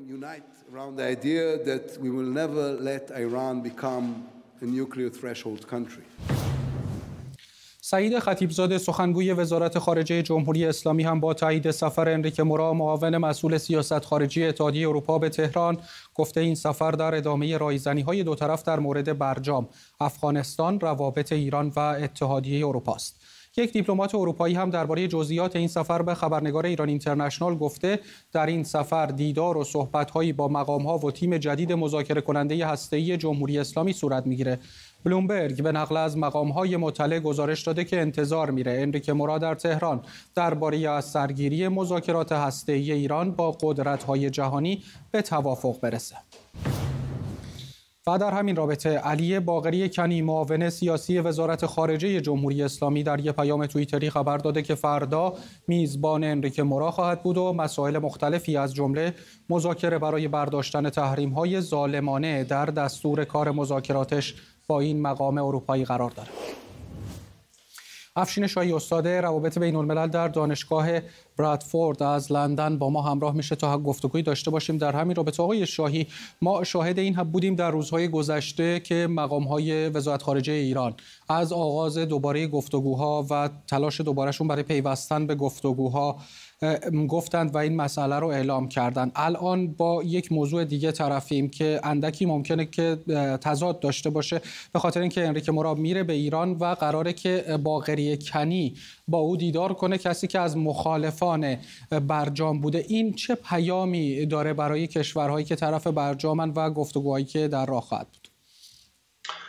سلام و وقت شما بخیر آقای عزیزی. چندین ماه هست که مذاکرات متوقف شدند و به خاطر اهمیت برنامه های هسته جمهوری اسلامی هم رسانه های فارسی زبان هم رسانه های غیر فارسی گمانزنی های زیادی داشتند در هفته ها و ماه های گذشته که چه کسی قراره در واقع سکان مذاکرات جدید رو به دست بگیره. یکی از اشخاصی که از همان روزهای اول به عنوان کاندید اصلی حاکمیت و دولت جدید معرفی می‌شد همین آقای باقری کنی بود. و خب اتفاقاتی هم که در 24 ساعت گذشته افتاده و اون اظهار نظری که ایشون در توییتر کرده خب به نظر من اون گمان زنی ها رو شاید بیشتر از هر وقت دیگه تبدیل به نزدیکتر به یقین کرده. خب به نظر میاد که قرار اگر که مذاکره صورت بگیره حداقل آقای باقری کنی نقش بسیار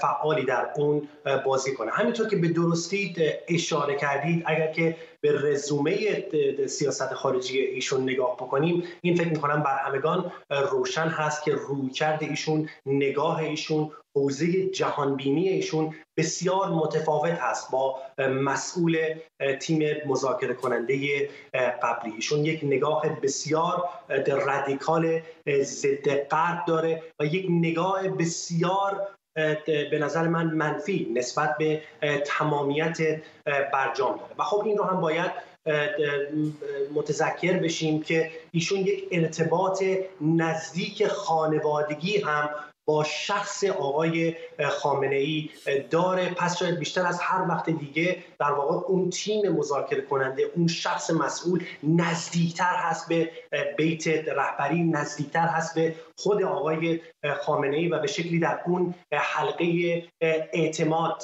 قرار داره. اگر که در دور قبلی مذاکره ها مثلا آقای ظریف بعد از یک سری رایزنی ها با طرف اروپایی و آمریکایی با به تهران برمیگشت یا با بیت رهبری وارد مذاکره می‌شد یا با دولت وارد مذاکره می‌شد و رایزنی می‌کرد برای در واقع تشویق کردنشون برای یک سری انعطافات بیشتر من بعید می‌دونم که در این دوره مذاکرات اگر که قرار باشه آقای باقری کنی در صدر این مذاکرات قرار بگیره و این مذاکرات رو جلو ببره من فکر نمی کنم که از این مسائل هم خبری باشه. ایشون همون دیدگاه بسیار رادیکال و بسیار تند بیت رهبری رو و در این مسئله نمایندگی می‌کنه. خب آقای شاهی الان پیام میزبانی باقری کنی از انریک مورا رو بگذاریم. از اون طرف یایر لاپیت رفته آمریکا با مقامهای مختلفی دیدار کرده درباره برنامه هسته ایران گفتگو کردن و خواسته که در واقع یک برنامه جایگزینی برای برجام صورت بگیره. این دو رو اگر کنار هم بگذاریم و این فضا رو ببریم در مذاکرات وین فکر می‌کنید نتیجه ای اساسا با این اوضاع ازش بیرون بیاد؟ اینکه اسرائیل الان داره پیش بینی می‌کنه که یک برنامه جایگزین وجود داره. اصلا اون برنامه جایگزین چی هست؟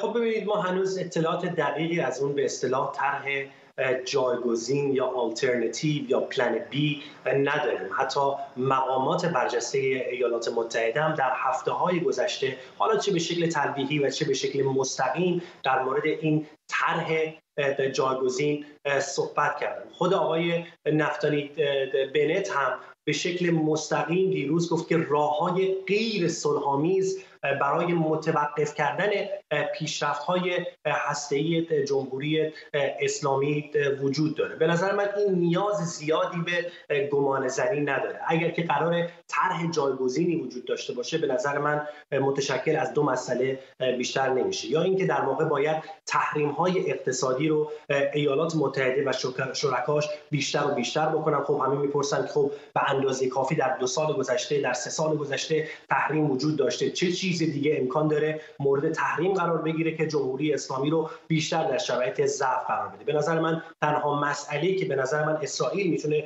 روی اون متمرکز بشه برای تحریم همین در واقع شاهرگ نفتی ایران هست. در یک سال گذشته داده های آماری نشون میده که فروش نفت ایران به چین افزایش چشمگیری داشته به رغم اینکه در واقع صادرات نفت از ایران به خاطر مشکلات سیاسی هزینه زیادی برای جمهوری اسلامی داره. اما خب همین صادراتی که الان داره افزایش پیدا می‌کنه مقداری ظرفیت های اقتصادی جمهوری اسلامی رو با مقایسه با سال گذشتهش نیرومندتر کرده و اسرائیل الان در واقع به دنبال این هست که ایالات متحده رو در صورت عدم موفقیت در مذاکرات تشویق بکنه که این تحریم های نفتی رو آغاز بکنن و بیشتر بکنن. فشار رو روی جمهوری خلق چین که یکی از بزرگترین و مهمترین خریداران نفت جمهوری اسلامی هست رو بیشتر بکنن. و خب گزینه دوم هم همینطور که آقای بنت دیروز بهش اشاره کرد در واقع طرح نظامی هست. ولی خب طرح نظامی همینطور که در سالهای گذشته مکررا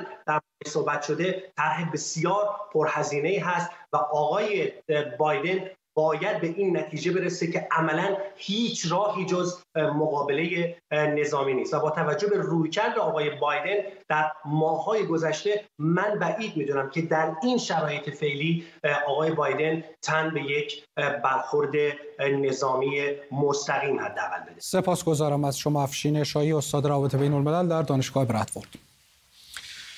نیروهای شبه نظامی تحت حمایت جمهوری اسلامی به دنبال شکستشون در انتخابات عراق اقدام به تحرک نظامی در پایتخت این کشور کردند بر اساس گزارش منابع خبری شب گذشته شبه نظامیان گروه های هشت شعبی و اصائب اهل الحق اقدام به تحرک و استقرار نیرو در برخی مناطق بغداد کردند همزمان به دنبال این تهدیدها سازمان ضد تروریسم عراق در منطقه صالحیه اطراف ساختمان رادیو و تلویزیون رسمی و منطقه سبز بغداد اقدام به استقرار نیرو کرده از سوی دیگه مصطفی الکاظمی نخست وزیر عراق از فرمانده های امنیتی کشورش خواسته به ماموریتشون در حفاظت از صندوق های رأی و مخازن کمیساریای عالی انتخابات ادامه بدن این تحرک در حالیه که شب گذشته هیئت هماهنگی مقاومت عراقی که تحت حمایت سپاه پاسدارانه یک بار دیگه با رد نتایج انتخابات تهدید به دفاع از فرایند سیاسی عراق کرده.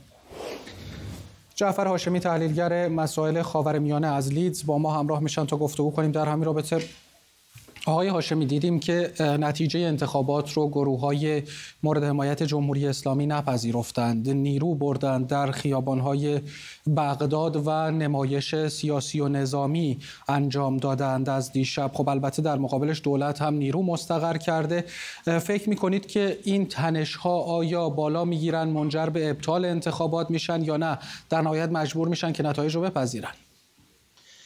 با سلام نه من فکر نمی کنم شرایط در حدی هست که نیازی به ابطال انتخابات داشته باشه ببینید تنها گروهی که بیش از همه شکست خورده از حیث المجموع همین الفت هست که نزدیک به ایران هست. مطابقی گروه ها مثل نور المالکی هم با همین شمارش جدید آرا که دیشب صورت گرفته باز از نزدیک 37 کرسی که داشته الان 40 کرسی داره. از رو من حیث المجموع بیشتر طرف هایی که در حوزه قدرت هستند بودن و هستند و می‌خوان باشن اینها راضی هستند به صورت نسبی. علیرغم کاهش میزان مشارکت مردم راضی هستند منتها تقریبا اینها به دنبال سهمی هستند از قدرت. چون واقعا شکست اولی اونها بسیار زیاد بود و عملا اونها با توجه به اینکه مقتدا صدر کردها حتی اطلاف یا حزب پیشرو که به رهبری حلبوسی بود اینها واقعا آرای بسیار زیادی بردن و نهایتا اینها که می‌خوان اطلاف تشکیل بدن هم مقتدا صدر ایشون از این اهلیت برخوردار خواهم بود که نخست وزیر معرفی بکنن و همین این اطلاف این ستا می‌توانند یک دولتی تشکیل بده. از من فکر می‌کنم تمام این فشارها در این راه هستند که الان شکستشون پذیرفتن ولی به دنبال سهم بیشتری در قدرت هستند آقای هاشمی الان با این وضعیتی که در عراق وجود داره فکر می‌کنید که سیاست جمهوری اسلامی نسبت به این انتخابات البته چیز رسمی تا الان اعلام نشده ولی فکر می‌کنید که چگونه برخورد کنن؟ آیا موافقن با اون چیزی که اتفاق افتاده یا اینکه باش کنار میان؟ چه سیاستی رو اعمال خواهند کرد؟ من تصور می‌کنم این وضعیت رو حداقل الان میپذیرن. چاره جز این ندارن. چون واقعا الان تمام گروه هایی که بیشتر به ایران نزدیک هستند اینها در حاشیه هستند در برابر یک کسی مثل مقتدا صدر کردها حلبوسی و حتی مستقل ها که اینها اکثریت پارلمان تصاحب کردن.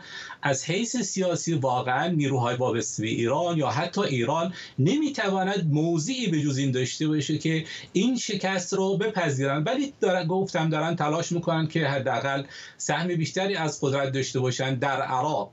اما اینکه ایران چه تصمیمی خواهد من فکر نمی کنم شرایط عمومی اقتضا می‌کنه که ایران الان دلیل بشه و سببی بشه که این جنگ بین شیعیان در عراق رخ بده. لحاظا هر چی باشه من فکر می‌کنم این شکست را خواهد پذیرفت. اما این بدین معنی نیست که از این گروه ها به عنوان ابزاری و گروه فشار بر علیه دولت آینده عراق به کار نگیرن و استفاده و قطعا در معادلات اقلیمی و بین المللی خودش از این گروه ها به عنوان بخشی از ابزاری که فشار بر علیه آینده عراق که قطعا برای ایران اهمیت داره استفاده خواهد کرد. خب اگر اطلافی که صدر ایجاد می‌کنه به قدرت برسه و نخست وزیر انتخاب کنه و بعد این حرفایی که آقای صدر الان داره می‌زنه یعنی خل سلاح این گروه ها آیا شدنی اساسا امکان داره که در عراق به چنین چیزی بشه رسید با توجه به اینکه این گروه ها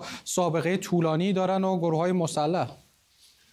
بله بله امکانش هست و من فکر می‌کنم اگر اراده جدی داشته باشه که به نظر می‌رسه گروه های مثل مقتدا صدر کردها حلبوسی و غیره اینا همشون از این از چنین اراده برخوردار هستند نهایتا جایگاه اجتماعی و جایگاه سیاسی که این گروه ها در عراق دارن همه اینها می توانین ابزار رو در اختیارشون بذاره صرف نظر از حمایت کشورهای منطقه حمایت های جهانی و عراق راهکار جز این نخواهد داشت که این گروه ها در حوزه سیاست وارد بشن. از این رو من فکر می‌کنم کاری که الان و امروز صورت گرفته این که چند تا کرسی در اختیار الفت و همین گروه ها بدهند این یک نوع ابزاری است که اینها را از حوزه نظامیگری و آشوبگری رو بیارن وارد عرصه سیاست بکنن و این امکان پذیر هست. من فکر می‌کنم بله امکان پذیر هست. سپاسگزارم از شما جعفر هاشمی تحلیلگر مسائل خاورمیانه از لیدز با ما بودید. اما در میان تازه ترین خبرها سازمان عفو بین الملل در بیانیه از مقام های جمهوری اسلامی خواسته فوراً درباره علل و شرایط ناپدیدسازی قهری و مرگ مشکوک در زمان بازداشت شاهین ناصری تحقیقات موثر کامل مستقل و بیطرفانه ای انجام بده. شاهین ناصری 49 ساله بیشتر درباره شکنجه نوید افکاری کشتیگیر و معترض ایرانی که در شهریور 99 به طور مخفیانه اعدام شد شهادت داده بود. امروز سخنگوی قوه قضاییه علت مرگ شاهد شکنجه نوید افکاری رو مسمومیت دارویی عنوان کرده. بیننده و شنونده ایران اینترنشنال هستید. تا دقایقی دیگه گزارشی داریم از شلیک به زنان در اصفهان. فردی که با اسلحه بادی به زنان شلیک می کرد به قید وسیقه آزاد شده مجموعه خبری نیمروز رو می‌بینید. مروری بر عناوین خبرها. کاهش سرعت اینترنت ایران در دولت رئیسی همزمان با بررسی غیرعلنی طرح محدودیت فضای مجازی در مجلس. ابراهیم رئیسی دستور داد اینترنت ملی سریعا راه اندازی شود. تحولات تازه در پرونده هسته ایران و سفر وزیر خارجه اسرائیل به واشنگتن. معاون رئیس جمهور ایالات متحده گفت اسرائیل و آمریکا نگرانی های مشترکی درباره ایران دارند. معاون سیاست خارجی اتحادیه اروپا هم فردا به تهران می رود علی باقری کنی از مخالفان برجام میزبان انریک موراست گزارشی تازه از شلیک به زنان در اصفهان. به گزارش روزنامه شرق فردی که اواخر مرداد ماه با اسلحه بادی به زنان شلیک می کرد با وثیقه آزاد شد. و رکورد شکنی یک سریال کره‌ای در نتفلیکس. بازی مرکب سریالی خشن و درباره فقر و حاشیه نشینی که محبوبیت زیادی بین مخاطبان پیدا کرد. بر اساس گزارش روزنامه شرق فردی که اواخر مرداد ماه امسال در اصفهان به چند زن و دست کم یک مرد از پشت شلیک کرده بود بعد از چند روز بازداشت با وسیقه آزاد شده. به گزارش این روزنامه جوانی در 28 مرداد با تفنگ بادی به دست کم پنج زن و یک مرد در اصفهان تیراندازی کرده و در کمتر از 48 ساعت بازداشت شده بود اما در کمتر از یک ماه با سپردن وسیقه آزاد شد. به گزارش شرق رفتار بد خانواده متهم و سابقه خشونت هایی از جمله اسید پاشی به زنان در اصفهان بازداشت و محاکمه نشدن عاملان آن باعث شده برخی از خانواده ها با رسانه کردن این مسئله خواستار توجه مجاری قانونی به این مسئله بشن. در همین حال در یک ماه اخیر گزارش هایی از هل دادن زنان دوچرخه سوار در اصفهان منتشر شده که این اقدامات موجب نگرانی زنان و فعالان مدنی شده. نعیم دوستار روزنامه نگار و فعال حقوق زنان از مالمو با ما همراه میشه. خانم دوستار ما در اصفهان شاهد خشونت علیه زنان و دختران بارها بودیم. از اسید پاشی که در سالیان قبل اتفاق افتاد و حالا این اقداماتی که می‌بینیم. چرا دستگاه قضایی برخورد قاطعی اساسا انجام نمیده با موضوع خشونت علیه زنان که در جامعه صورت می‌گیره؟ مسئله خشونت علیه زنان رو به نوعی میشه در جامعه ایران یک نوع جنایت بی یا خشونت بی تعریف کرد. به این معنا که توی هر سطحی این خشونت نه تنها پذیرفته شده است بلکه مجازات قانونی به اندازه کافی که بازدارنده باشه نداره و بعضا حتی تشویق هم میشه. ما در مورد خشونت هایی که به حال چه در داخل خانواده و چه در سطح اجتماع در اقصانقات ایران صورت می‌گیره با یک نوع سکوت و مدارا مواجه هستیم. مدارایی که با در واقع بی مجازات گذاشتن عوامل این نوع خشونت چه در حوزه خانواده چه در سطح اجتماع اونها رو به نوعی تشویق می‌کنه. همزمان ما شاهد این هستیم که تلاشی هم صورت نمی‌گیره برای اینکه به حال انواع مختلف خشونت علیه زنان به شکل قانونمند مورد تعقیب قرار بگیره. لایحه معروف به لایحه منع خشونت علیه زنان اساسا بعد از سالها دست به دست شدن و بالا و پایین رفتن کنار گذاشته شده و قوانینی وجود نداره که بخواد جلوی به حال عوامل خشونت رو بگیره.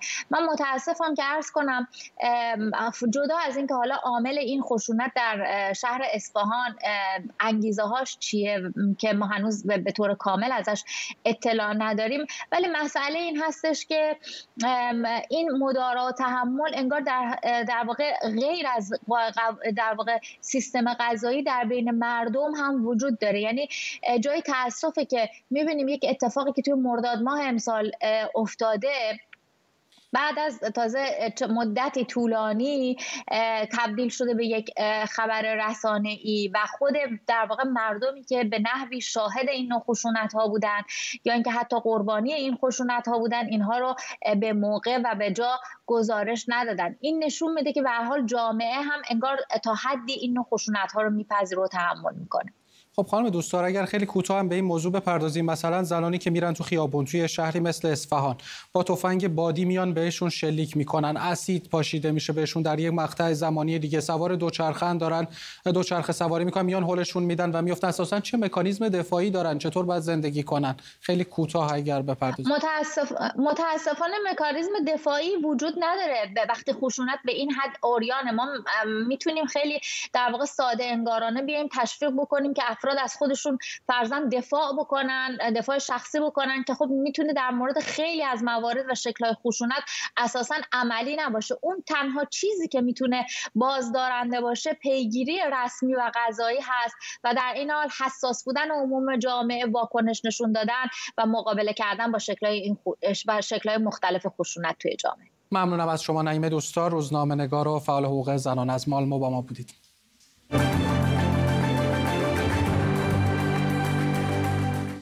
اما دیروز عکس هایی از تخریب سینما عصر جدید منتشر شد که مورد توجه کاربران رسانه های اجتماعی قرار گرفت و بهش واکنش نشون دادن. نوشین خانی این واکنش ها رو بررسی کرده و اینجا همراه من نوشین بگو که کاربرای شبکه های اجتماعی چه واکنشی داشتن به این موضوع. پویا اول من اینو اضافه کنم که سینما عصر جدید پارسال به دلیل شیوع ویروس کرونا تعطیل شده بود. اما همونطور که تو اشاره کردی دیروز عکس از تخریب سینما در شبکه های اجتماعی منتشر شد که کاربرها شروع کردن به واکنش نشون دادن. کاربرها معتقدن که سینما عصر جدید بخشی از میراث فرهنگی تهران و باید بمونه. جزئیات دیگه هم هستش که من مرورشون می‌کنم. بنای قدیمی در زل شرقی تقاطع خیابان طالقانی با خیابان وسال شیرازی در مرکز تهران. جایی که پاتوق روشنفکران و سینما دوستان جوان بود. سینما عصر جدید حالا در آستانه تخریب. پیشترها تخت جمشید نام داشت و یکی از سینماهای قدیمی و مهم تهران بود. از فعالیتش به سال 1321 برمیگرده. اسفند ماه سال گذشته به دلیل شیوع ویروس کرونا و کم شدن سینماها برای همیشه تعطیل شد. حالا کاربران شبکه های اجتماعی با هشتگ سینما عصر جدید در اعتراض به تخریب اون واکنش نشون میدن و معتقدن این سینما بخشی از میراث فرهنگی تهرانه و باید محافظت بشه. بهروز تورانی روزنامه نگار اینطور نوشته عصر جدید اوایل اسمش سینما تخت جمشید بود سقف شیرونی قرمز داشت و نزدیکیش به دانشگاه و خیابونهای پردرخت اون رو محبوب جوانها کرده بود. سیگار وینیستون تازه به تهران رسیده بود. اگه کسی در لوش وینیستون می‌کشید بوش تا درجه دو هم میآمد. شبهای بارونی صدای بارون روی شیرونی کیف داشت. یک کاربر هم نوشته چه خاطره هایی که در این سینما داشتیم. دهه 60 با فیلم هایی مثل هفت دلاور رنگ انار سولاریس کودکی ایوان آینه بچه های آسمان و جشنواره های فیلم فجر. علیرضا میگه سینما عصر جدید و مرغ کنتاکی کنارش و جگرکی روبروش بهترین خاطرات دوره لیسانس منه. غمم گرفت که قرار تبدیل به یه ساختمون بیهویت جدید بشه. بسیاری از کاربرها خاطرات خودشون رو از این سینما با هم به اشتراک می‌ذارن. اما در مقابل کاربرانی هم هستند که به مسئولان اعتراض می‌کنن.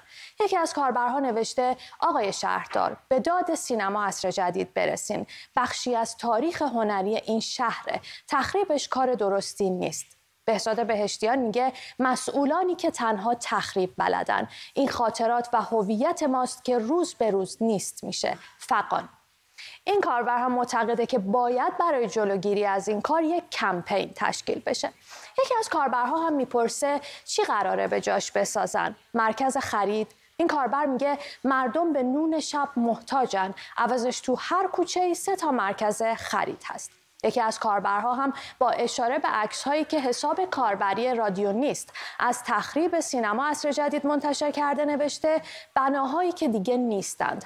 با سرعت عجیب و غریب ساخت و ساز و نابودی بناهای قدیمی در تهران و بیاعتنایی کامل به خاطرات یا ارزش معماری ابنیه رادیو نیست. تا صدها سال موضوع برای برنامه ساختن داره. به زودی سینما عصر جدید به این لیست اضافه میشه.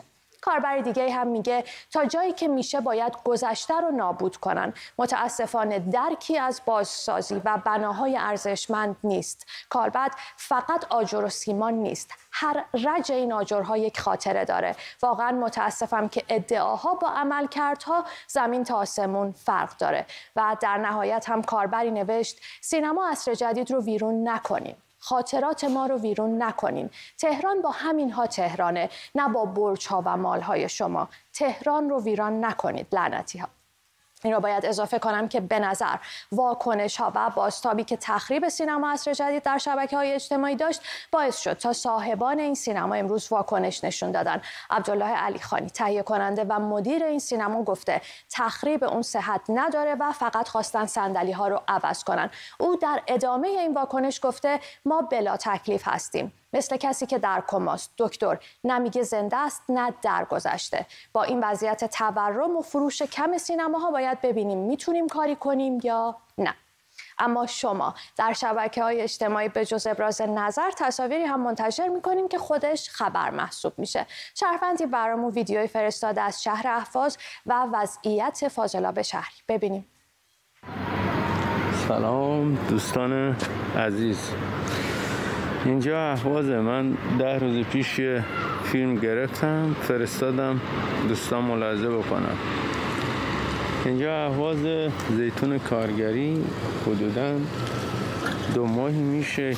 یک ماه نیم دو ماه. این فاضلاب به همین شکل رها شده. اونجا هم نونوایی مردم دارن نون می‌گیرن.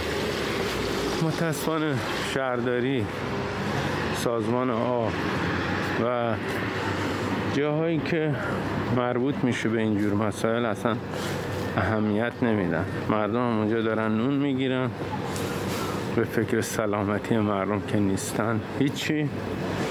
شهرم داره ویران میشه. ویدیو بعدی هم روایت شهروندی از گرانی و قیمت داروست. با هم ببینیم. با سلام. این ویدیو رو ضبط می‌کنم که ببینید چهار ورق. کپسول دو تا آمپول و دو تا بسته کپسول دیگه. امروز خریداری شده به قیمت 302600 تومان. واقعا چطور میشه زندگی کرد؟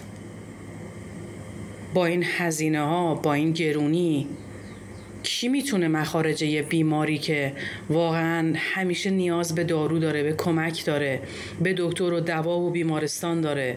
چرا باید فضا اینطوری باشه؟ کی جوابگوه؟ کی پاسخگوه؟ کی مسئوله واقعا؟ کی مسئوله؟ خسته شدیم به خدا. از کجا بیاریم؟ از کجا بیاریم واقعا؟ تا کی میشه اینجوری زندگی کرد؟ راه های ارتباطی ما رو هم در زیر صفحه می‌تونین ببینین. پیام های صوتی و تصویری خودتون رو می‌تونین همیشه از طریق واتساپ تلگرام و سیگنال به شماره زیر صفحه ارسال کنین. در ادامه این بخش هم برمیگردم به پویا. ممنونم از نوشین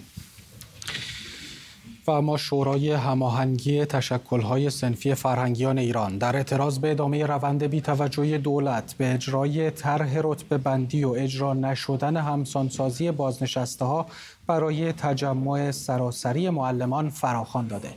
بنابراین فراخان فرهنگیان فعال و بازنشسته قرار صبح فردا پنج شنبه مقابل اداره های کل آموزش و پرورش استان و شهرستان ها در سراسر ایران تجمع کنند محمد حبیبی سخنگوی کانون سنفی معلمان تهران گفته میانگین دریافتی فرهنگی ها و معلم ها بین 6 تا 6.5 میلیون تومنه در حالی که خط فقر بنابر آمارهای رسمی نزدیک به 12 میلیون تومنه.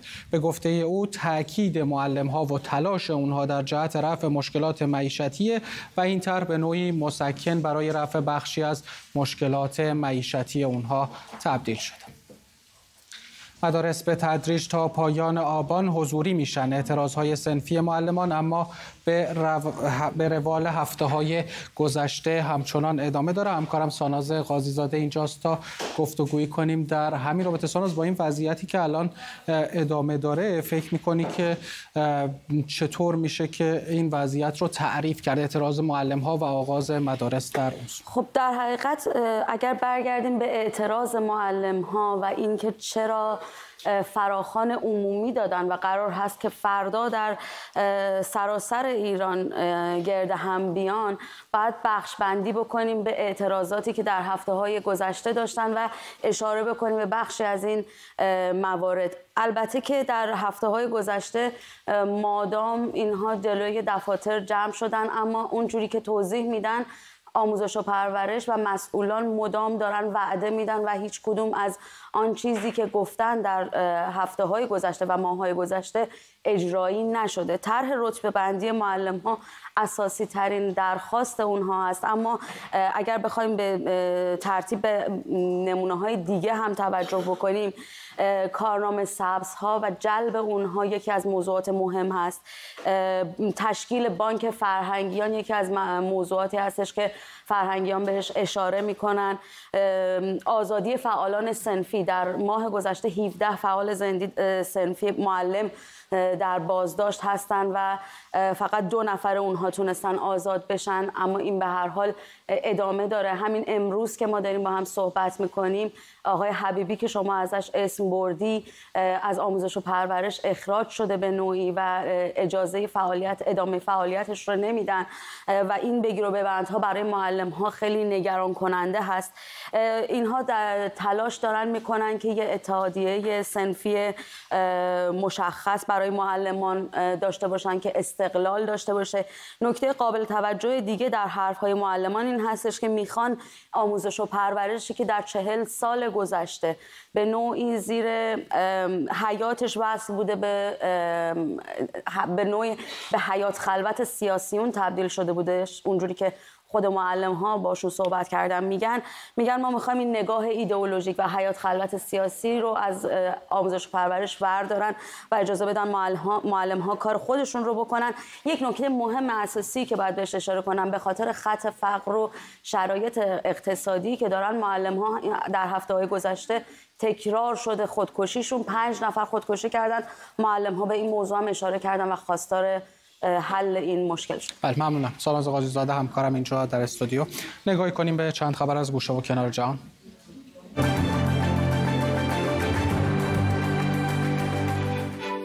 دفتر نخست وزیر اسرائیل اعلام کرد ولادیمیر پوتین رئیس جمهور روسیه میزبان نفتالی بنت نخست وزیر اسرائیل.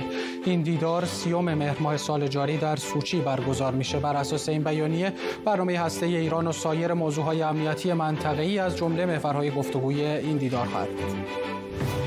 صدر اعظم آلمان گفته که دولتش هنوز آماده به رسمیت شناختن طالبان به عنوان حکومت قانونی افغانستان نیست. آنگلا مرکل بعد از نشست گروه 20 گفته که طالبان هنوز خودش رو با معیارهای جهانی هماهنگ نکرده در عین حال از کمک 600 میلیون یورویی به افغانستان خبر داد. محمد باغری رئیس ستاد کل نیروهای مسلح ایران در سفری سه روزه به پاکستان صبح امروز با ژنرال قمر جاوید باجوا فرمانده ارتش پاکستان دیدار و گفتگو کرده. محمد باغری رهبری هیئت عالی رتبه نظامی رو بر عهده داره که در این سفر با مقامات عالی رتبه دیگر نظامی پاکستان هم دیدار می‌کنه. همزمان هیئت پارلمانی ایران به رهبری احمد امیرآبادی فراهانی روز سهشنبه با شیخ رشید احمد وزیر کشور پاکستان دیدار کرده و موضوعات مربوط به منافع و همکاری دو جانبه رو مورد بحث قرار داده. پاکستان و ایران توافق کردند که یک کمیته ویژه برای اجرای توافقنامه مبادله زندانی ایجاد کنند. جواد همدانی همکارم از اسلام آباد با ما همراه میشه. جواد از سفر هیئت پارلمانی ایران به اسلام آباد بگو توضیح بده که چه کردند و چه اتفاقایی افتاد. خب همینطور خودت اشاره کردید هیئتی متشکل از تعدادی از اعضای پارلمان و همچنین تاجران ایرانی. میشه گفت پریروز وارد اسلام آباد شدند و دیدارهای متنوع رو تاکنون انجام دادند و در دستور کارشون هم دیدارهای زیادی دارن. از جمله دیدار با رئیس مجلس ایران همچنین رئیس مجلس پاکستان همچنین با رئیس مجلس سنای پاکستان و دیروز یک دیدار مهمی داشتند با شیخ رشید احمد وزیر کشور پاکستان که در این دیدار هم موضوعات متنوعی در واقع در خصوص آنها صحبت شده از جمله جلوگیری از قاچاق مواد مخدر همچنین قاچاق انسان و فعال شدن بازارهای مرزی در مناطق مرزی پاکستان و ایران و همچنین تحولات افغانستان و تروریسم به نظر میاد یکی از موضوعات عمده این سفر هست. در ادامه در واقع همینطور خودت هم اشاره کردید یک هیئت دیگری هم که در واقع به رهبری محمد باقر باقری رئیس ستاد کل نیروهای مسلح ایران وارد پاکستان شده و با فرمانده ارتش پاکستان هم دیدار کردن به نظر میاد که موضوع افغانستان همچنان در متن گفتگو است و همانگی بین دو کشور پاکستان و ایران در این زمینه داره بیشتر میشه. ممنونم از تو همکارم جواد همدانی که با من همراه بودی اما در موزه هنرهای مدرن شهر میلان نمایشگاهی با عنوان میسفیتس از آثار نایری باغرامیان هنرمند نوگرای ایرانی برگزار شده. باغرامیان متولد اصفهان و ساکن برلین. مجسمه هاش از طیف وسیعی از مواد از فولاد تا چرم ساخته میشه. آثار این هنرمند با سیاست و تحولات اجتماعی هم پیوند داره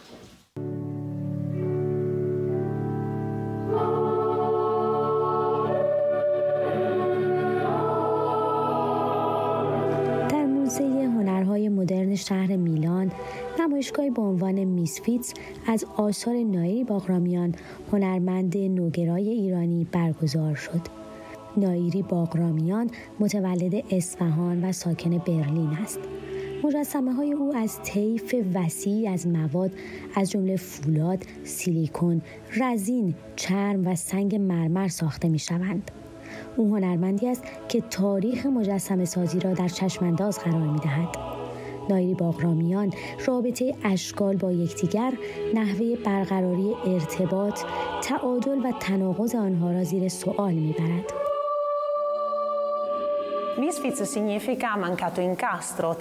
میسفیز که عنوان این نمایشگاه در اینجا یعنی از دست دادن در هم تنیدگی یا مچ شدن هنرمند بر روی رابطه بین آثار داخل گالری و آثاری که در فضای بیرون گالری نمایش داده شده کار می‌کنه در واقع میشه آثار داخل نمایشگاه را به عنوان هدفی نگاه کرد که سعی در ارتباط برقرار کردن و دیالوگ کردن با نیمه بیرونی داره این دو نیمه اما درست در هم تنیده نمیشن ما تونستیم امکان استفاده از گرانبهاترین مرمرهای ایتالیایی که در کوهستانهای توسکانی وجود دارد رو برای نمایشگاه نایری فراهم کنیم. مرمرهایی برجش طلا که بنیاد ما برای این هنرمند خریداری کرده. همان سنگ مرمرهایی که میکلانج مجسم ساز دوران رنسانس با حسرت حیرت و علاقه بسیاری به آنها مینگریست از این طریق بنیاد ما با همراهی نایری نمایشگاه مجسمه برپا کرده. از سنگ مرمر که بیشتر از هر عنصر دیگری نمادی از تاریخ طولانی مجسم سازیه.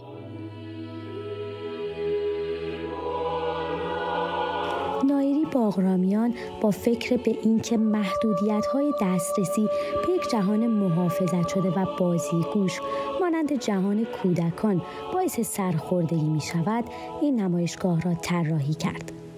محدودیت هایی که یک کودک می‌تونه براش پیش بیاد توسط بزرگسالان داره نمایش داده میشه اینجا و نایری در جای می‌گوید که گاهی اوقات بر اساس ایده نگاه کردن به چیزی و یا دلسوزی کردن برای آن چیز دست به ساختن می‌زند و در واقع در بیشتر مواقع آثاری که نایری می‌سازه فعل و انفعالاتی رو ایجاد می‌کنن با محیطی که در اون اثر وجود داره. نایری باغرامیان معتقد است که هر اثر هنری علیرغم خودمختاری قابل توجه به زمان، مکان و بافت سیاسی و اجتماعی پیوند خورده است. کیمیا قربانی، میلان در ادامه مجموعه خبری امروز تا دقایقی دیگه گزارش داریم از سریال اسکوید گیم که در شبکه نتفلیکس پخش میشه. بازگو کننده زندگی کسانی که فقیر و به حاشیه رانده شدهاند هست.